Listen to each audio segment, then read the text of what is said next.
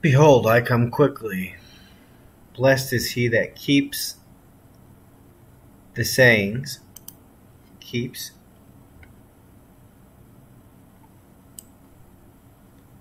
to guard.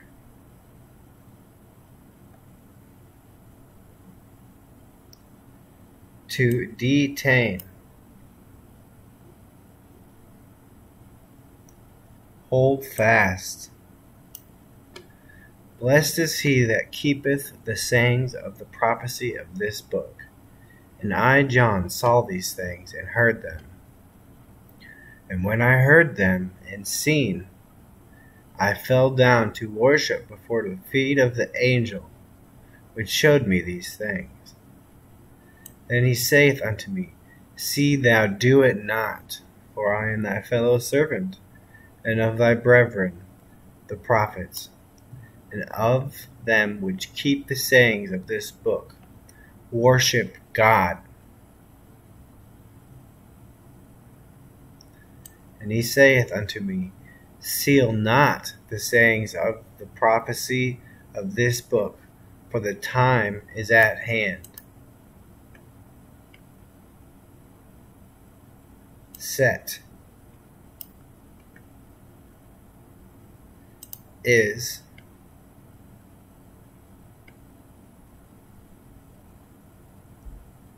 remains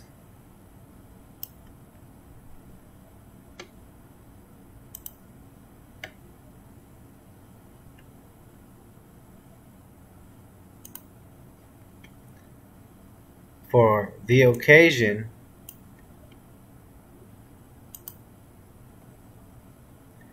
remains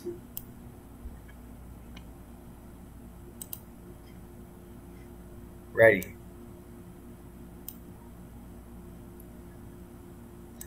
He that is unjust, let him be unjust still.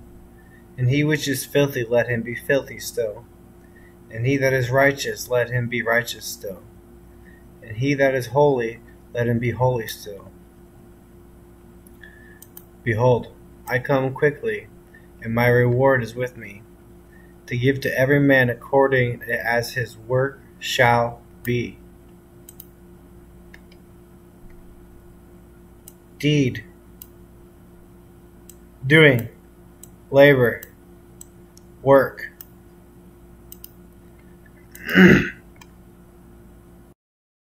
Today's question is, how is Jesus our Sabbath rest? In this video, I'll answer that question from a biblical perspective. Afterwards, as always, I'll share some helpful resources, so stick around until the end.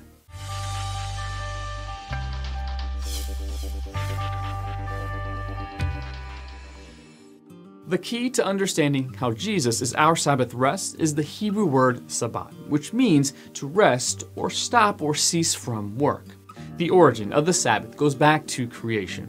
After creating the heavens and the earth, in six days God rested on the seventh day from all his work which he had made. Genesis chapter 2 verse 2. This doesn't mean that God was tired and needed rest. We know that God is omnipotent, literally all powerful. He has all the power in the universe. He never tires, and his most arduous expenditure of energy does not diminish his power one bit. So, what does it mean that God rested on the seventh day? Simply that he stopped what he was doing. He ceased from his labors. This is important in understanding the establishment of the Sabbath day and the role of Christ as our Sabbath rest. God used the example of his resting on the seventh day of creation to establish the principle of the Sabbath day rest for his people. In Exodus chapter 20, verses 8 through 11, and Deuteronomy chapter 5, verses 12 through 15, God gave the Israelites the fourth of his Ten Commandments. They were to remember the Sabbath day and keep it holy. One day out of every seven, they were to rest from their labors and give the same day of rest to their servants and animals. This was not just a physical rest, but a cessation of laboring. Whatever work they were engaged in was to stop for a full day each week. Please see our other answers to questions on the Sabbath day, Saturday versus Sunday, and Sabbath keeping to explore this issue further. The Sabbath day was established so the people would rest from their labors, only to begin after one day of rest. The various elements of the Sabbath symbolize the coming of the Messiah, who would provide a permanent rest for his people. Once again, the example of resting from our labors comes into play. The various elements of the Sabbath symbolize the coming of the Messiah, who would provide a permanent rest for his people. Once again, the example of resting from our labors comes into play. The mark of the beast. And he causeth all, both small and great, rich and poor, free and bond, to receive a mark in their right hand or in their foreheads, and that no man might buy or sell, except he that had the mark, or the name of the beast, or the number of his name. Here is wisdom. Let him that hath understanding count the number of the beast, for it is the number of a man.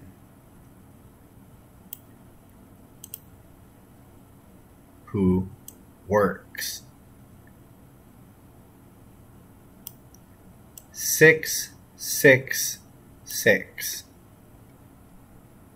And the smoke of their torment ascendeth up for ever and ever. And they had no rest day nor night and they had no rest day nor night, who worship the beast and his image, and whosoever receiveth the mark of his name. Once again, the example coming of the Messiah, who would provide a permanent rest for his people. Once again, the coming of the Messiah, who would provide a permanent rest for his people. Coming of the Messiah, who would provide a permanent rest for his people. Permanent rest for his people. Permanent rest for his. Permanent rest for his people. His people.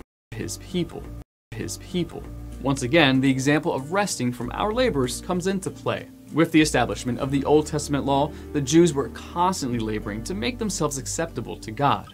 Their labors included trying to obey a myriad of do's and don'ts of the ceremonial law. Their labors included trying to obey a myriad of do's and don'ts of the ceremonial law. The Sabbath day was established so the people would rest from their labors, only to begin after one day of rest. The various elements of the Sabbath symbolize the coming of the Messiah, who would provide a permanent rest for his people.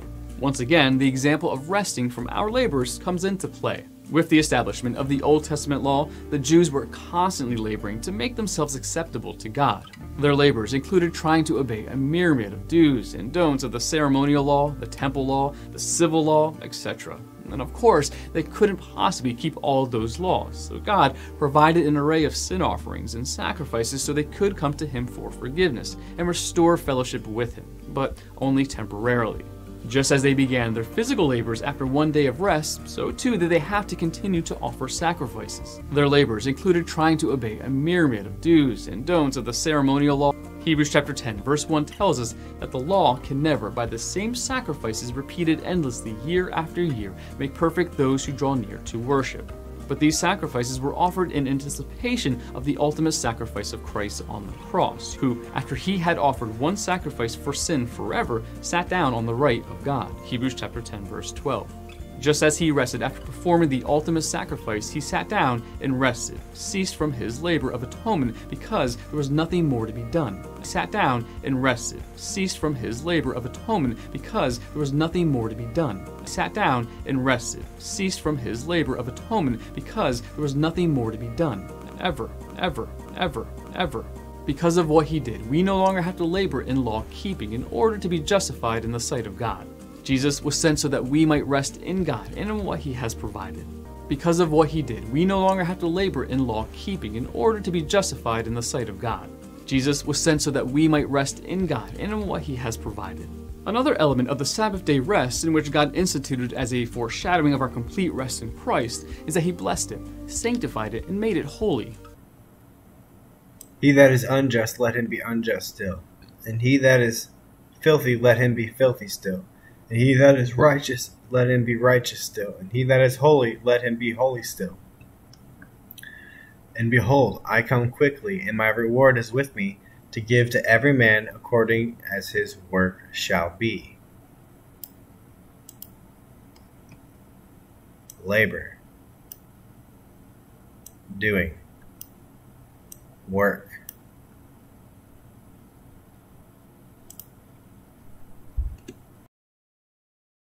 See the symbol of Christ as our Sabbath rest, the holy, perfect Son of God who sanctifies and makes holy all who believe in him. Jesus was sent so that we might rest in God and in what he has provided.